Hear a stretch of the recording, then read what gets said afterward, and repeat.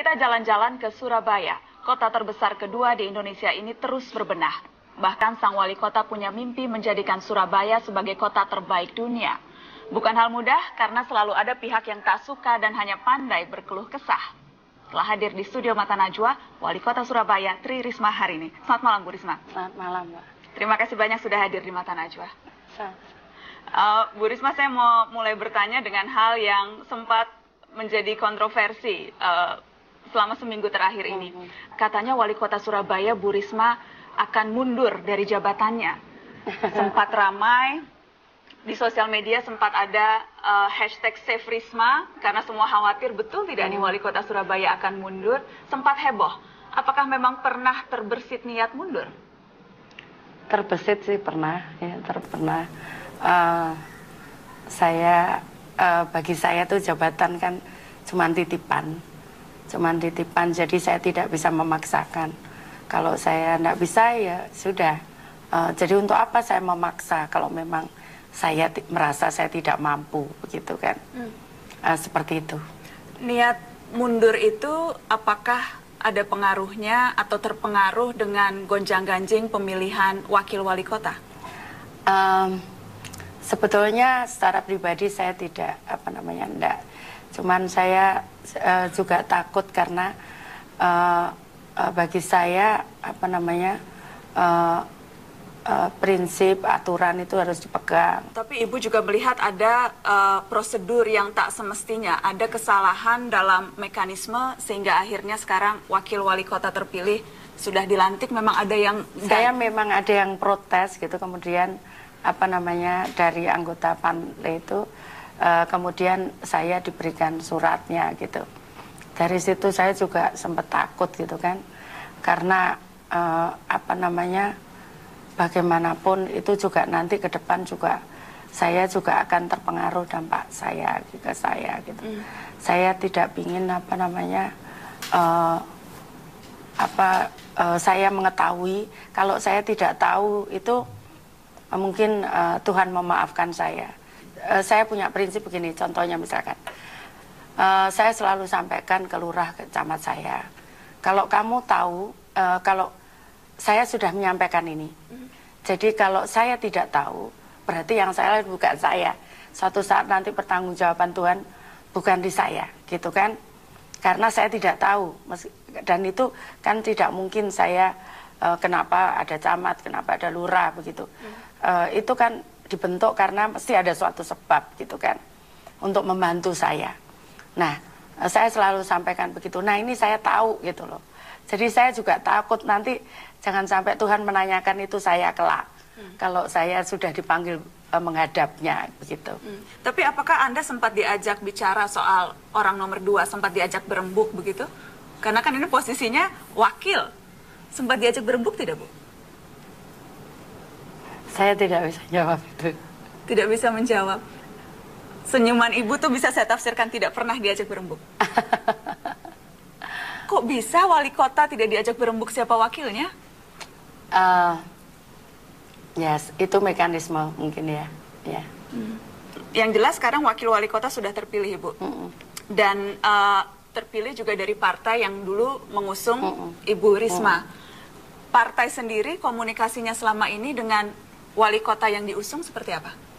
Alhamdulillah kalau teman-teman dengan teman-teman pusat, eh, saya sangat disupport ya Eh, dari pusat eh, D- eh, DPP itu eh, saya disupport gitu. Nah, eh, apa namanya memang mungkin penerjemahannya yang eh, saya juga menerjemahkannya kan memang saya tidak belajar eh, politik saya bukan background saya politik mungkin saya kan saya tidak sama gitu pola pikir saya. Eh, tapi memang kan saya hanya berprinsip bahwa saya tanggung jawab saya adalah masyarakat Surabaya eh, untuk bisa lebih sejahtera begitu. Dan itu saya per- harus bertanggungjawabkan juga nanti di hadapan Tuhan. Jadi ini bukan soal apa namanya bukan soal saya itu yang mungkin saya tidak bisa memang mungkin karena memang saya tidak pandai Bukan politisi. untuk iya memang jadi, mungkin jadi di itu tahap di di uh, tahapan pusat DPP dan sebagainya harmonis tapi ketika kita bicara tingkat lokal memang tampaknya ada masalah wali kota dengan ya saya mungkin tidak karena tidak uh, apa mengerti apa namanya menerjemahkannya tapi gitu. kebijakan-kebijakan yang diambil seorang wali kota kan juga perlu dukungan politis terutama di DPRD ibu Uh, ya selama ini alhamdulillah saya uh, apa tidak ada masalah program kita juga jalan karena memang masyarakat membutuhkan itu. Hmm. Jadi uh, DPR pun juga tahu bahwa apa namanya ternyata yang kita sampaikan masyarakat juga membutuhkan gitu. Hmm. Dan mereka juga bahkan sering marah yang diapresiasi DPR uh, oleh masyarakat uh, diberi ucapan terima kasih dan sebagainya mm. uh, seperti itu jadi artinya kalau memang program itu bisa dirasakan uh, pemerintah uh, mungkin memang uh, akhirnya masyarakat apa namanya masyarakat bisa merasakan kan nah semua happy begitu mm. Jadi hubungan dengan partai pendukung, terutama di tingkat lokal, itu tidak terlalu Anda pikirkan? Uh, jadi begini, uh, saya harus memilih, Mbak. Saya begitu jadi wali kota kan saya tidak boleh uh, apa namanya saya harus adil. Itu masalahnya. Di situ itu beratnya di situ. Jadi kan saya harus tidak boleh membedakan ini kaya, ini miskin, ini hitam, ini putih. Uh, enggak boleh seperti itu. Ini tua, ini muda, ini kecil, ini besar. Uh, begitu enggak boleh karena uh, di situlah letak uh, kesulitan apa nah, paling berat di situ. Hmm. karena saya harus adil itu. Bisa jadi banyak tekanan secara politis ke beliau yang membuat uh, ya beliau agak tertekan lah. Kok terlontar statement seperti itu. Tapi saya yakin dari awal bahwa beliau tidak uh, tidak seperti itu memandang kita. Makanya begitu kita ketemu ya semuanya sudah cair semua. Ya saya kira sebagai wali kota itu juga merupakan jabatan politik ya karena juga dia dikontrol oleh partai politik, dikontrol oleh masyarakat, dia diangkat oleh partai politik. Itu yang saya kira perlu penyesuaian oleh Ibu Risma. Mobilnya uh, polisi polisi patroli itu hmm. kaget. Dipersembahkan oleh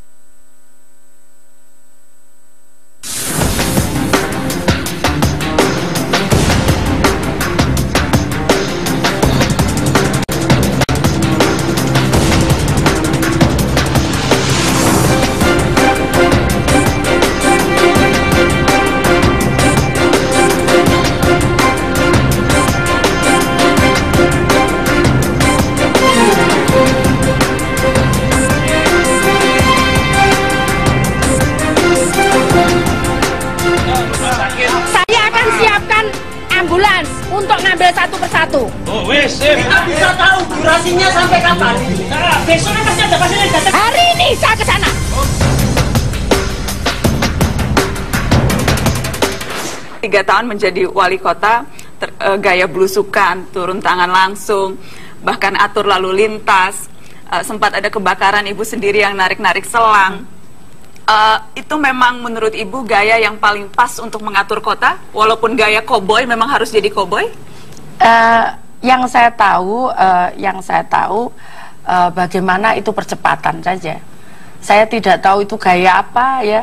Pokoknya uh, itu uh, percepatan saja supaya uh, segera clear karena masalahnya banyak sekali gitu masalahnya banyak sekali uh, apa namanya uh, yang harus kita saya tangani gitu. Jadi kalau itu cepat selesai saya kan bisa menyelesaikan yang lain. Hmm. Itu saja pikiran saya. Jadi saya tidak memikirkan apa ini pantas atau enggak seorang wali kota begini ya, saya nggak mikir itu tapi ini cepat selesai sehingga saya bisa nangani yang lain gitu. karena memang ada sih bu yang bilang begitu bilangnya hmm. aduh ini kok wali kota itu kan harusnya hanya mengontrol kemudian hmm. memastikan uh, pegawainya melaksanakan tugas merangsang hmm. ide-ide hmm. hmm. tidak perlu langsung sampai ngatur lalu lintas itu katanya lebay bu uh, ya apa namanya uh, bukti uh, kenapa kenapa saya turun itu cepat sekali begitu saya tangani pernah suatu saat saya ke Jakarta hmm. nah itu saya macet di jalan uh, saya sebelumnya pengen lihat di bawah karena saat itu hujan saya pengen ngontrol saluran tapi tiba-tiba supir saya melewatkan saya di tol hmm. nah ternyata di tol itu macet hmm. Kemudian saya cek, saya cek kenapa, oh ternyata sudah mulai jam 4 sore, saya posisi di Jakarta, saya nggak tahu. Hmm. Saya cek di Kepala Dinas Perhubungan, saya nggak tahu Bu, lu gimana saya bilang gitu. Hmm. Akhirnya saya berpikir, sudah kamu ke sana, Satpol ke sini ke sana, Linmas ke sana. Semua yang mau masuk ke tol arahkan ke pusat kota, saya sampaikan begitu. Hmm. Kamu posisi di sana, jadi kamu tidak boleh ada kendaraan masuk nambah beban di tol. Semua lewat tengah kota, saya sampaikan begitu. Hmm. Nah, terus apa namanya? Terus saya berpikir di situ juga, kalau saya ada di di mobil ini dengan kondisi macet di tol, saya nggak bisa apa-apa. Akhirnya saya ngomong, kamu Febri uh, sama ajudan saya, kita turun, kita jalan kaki. Bu jauh, nggak apa-apa sudah. Tapi saya berpikir bukan di pintu tol saya akan keluar, hmm. tapi saya berpikir nanti saya akan naik jembatan. Biasanya kan ada jembatan penyeberangan jalan itu. Hmm. Saya naik ke situ gitu. Terus habis itu betul, Feb maksud saya aku naik ke situ itu terus bu gimana? Cobaan dulu. Kalau kamu bisa naik aku juga bisa naik. Dia nyoba naik ke atas. Terus saya, saya oh ya aku bisa. Bisa bu? Oke saya naik. Jadi bu naik jembatan? Naik jembatan. Jadi uh, kurang lebih tingginya 10 meter. Berangkang begitu naiknya. Hmm. karena saya juga takut karena habis patah kan tangan saya yang masuk got itu. Nah saya naik. Terus kemudian saya kalau lompat jembatan saya pikir saya akan jatuh karena tangan saya masih belum kuat loh bakal.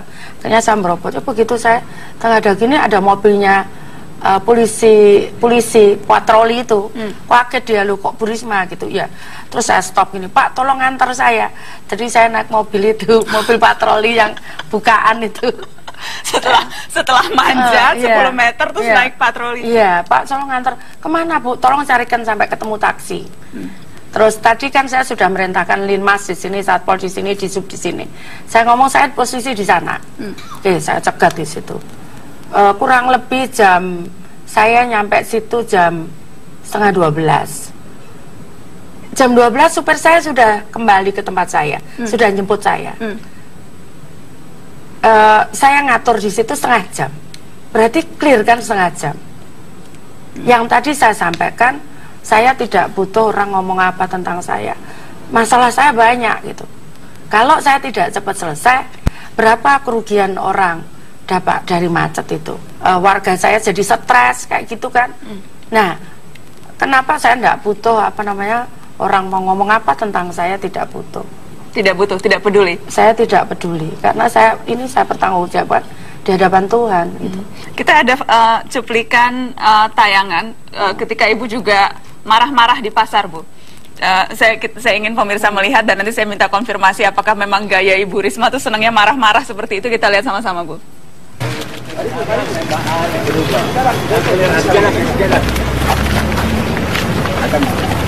Ya apa caranya bangun?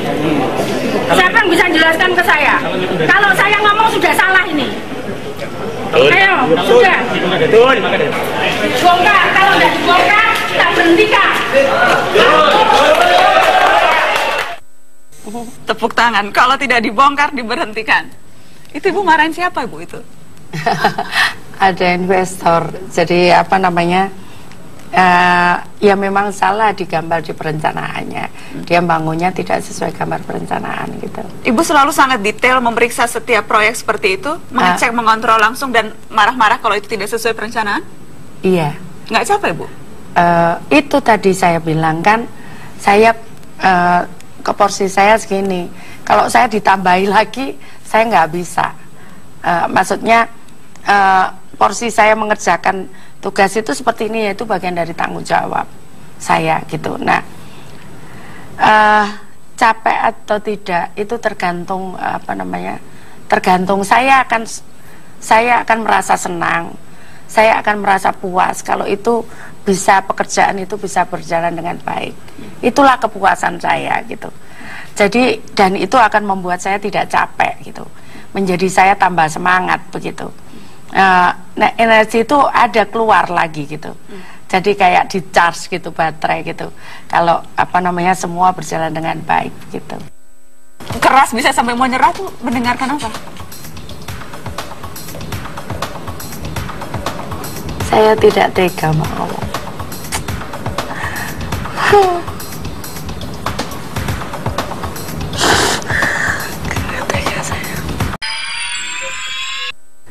dipersembahkan oleh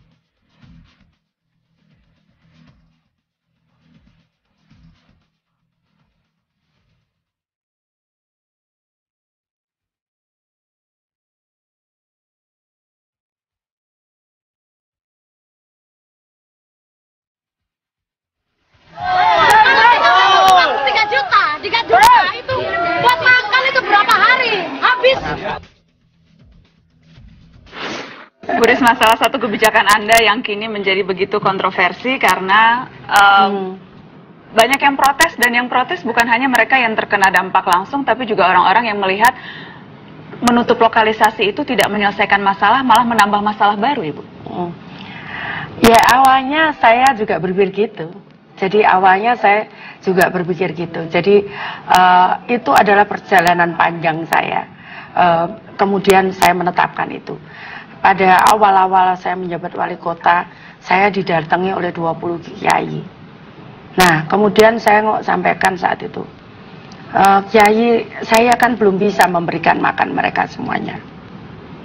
Kemudian "Eh, gimana Bu Wali? Oh ya saya bilang bagaimana mungkin mereka kan harus memberikan makan kepada keluarganya. Kemudian eh, apa namanya? eh, terus di situ kemudian media sempat saya masih punya itu dokumennya. Eh, apa namanya? Gubernur setuju menutup lokalisasi, wali kota menolak. Saya masih punya itu dokumen itu. Nah, kemudian eh, dari situ eh, sekali lagi eh, saya memang mungkin itu yang yang saya apa namanya yang saya ikuti karena saya mengikuti apa namanya hati saya itu saya ditunjukkan oleh Tuhan Eh, pertama awalnya kasus trafficking anak-anak. Satu kali kasus. Saya telusuri kalau saya begitu saya tidak mungkin anak itu terjadi sesuatu kalau dia tidak punya background.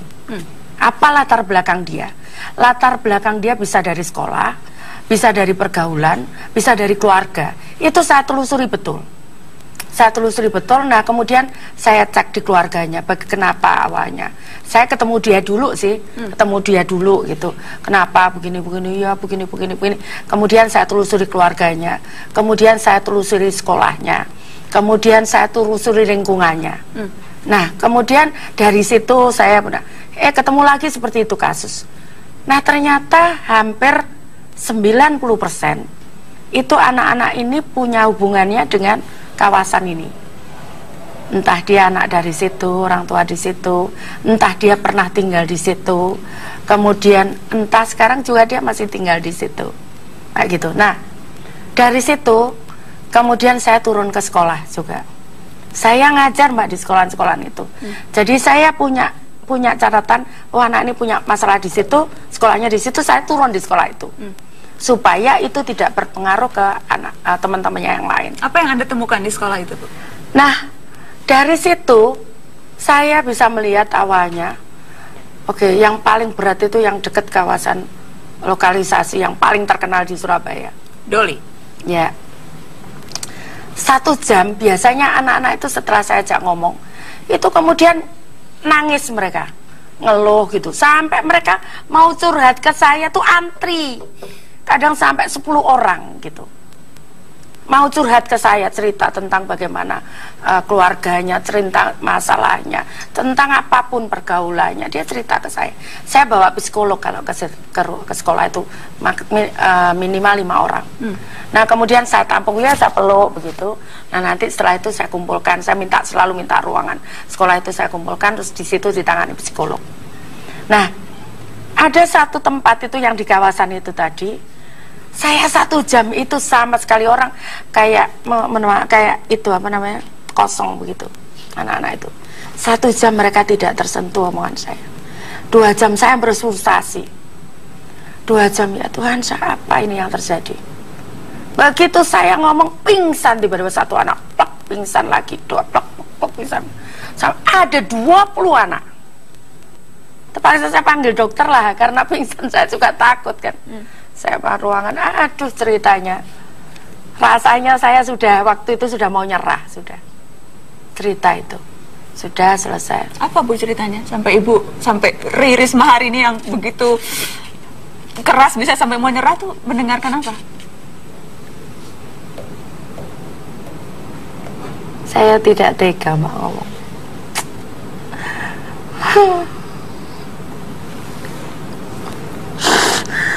Tidak tega saya. Mbak.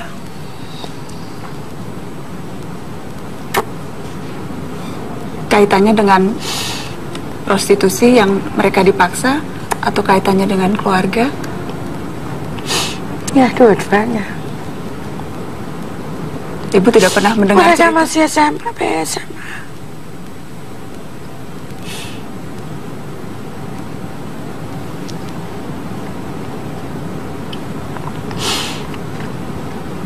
Seperti itu. Itu yang membuat ibu kemudian mengubah sikap dari semula? Enggak, enggak juga. Setelah itu saya ketemu, saya kumpulkan uh, mucikari-mucikari PSK di rumah saya di bulan puasa. Saya biasanya kalau puasa saya uh, apa namanya buka puasa di tempat orang warga gitu. Tapi kali itu saya undang mereka.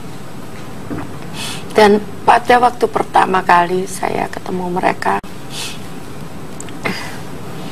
uh, ada satu orang yang sudah tua, saya juga kaget kok dia masih jadi PSK gitu kan.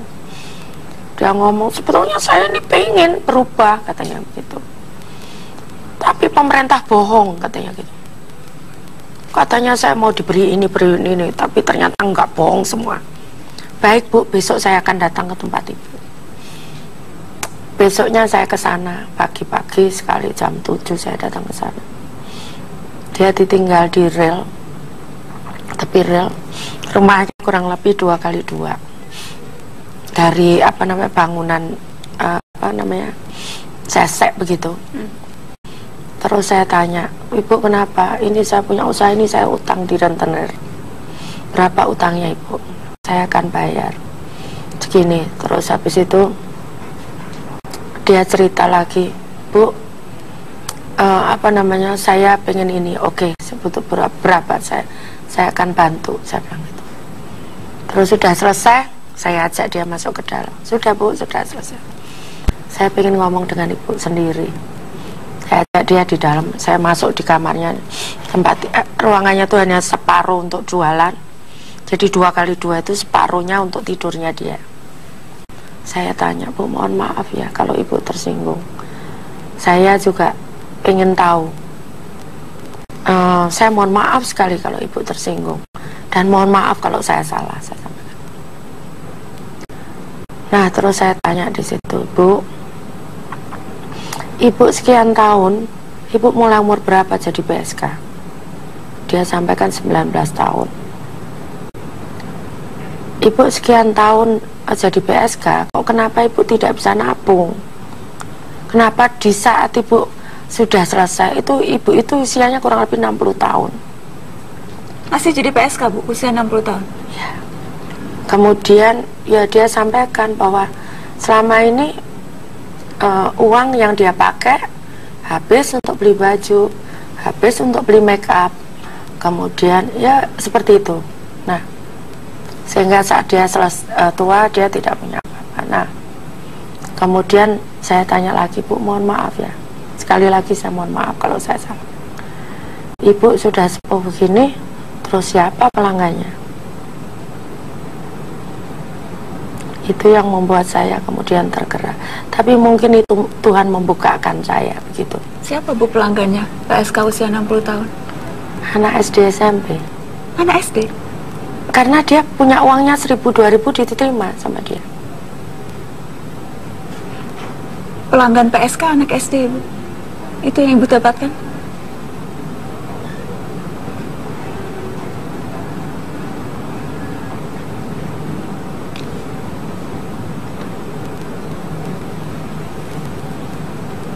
Apa yang kemudian